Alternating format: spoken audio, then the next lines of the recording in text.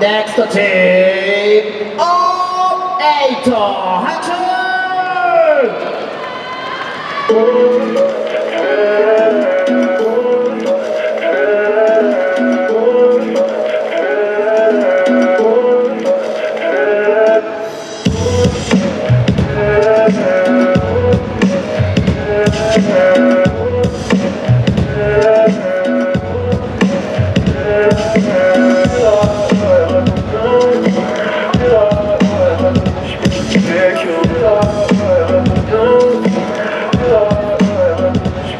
take you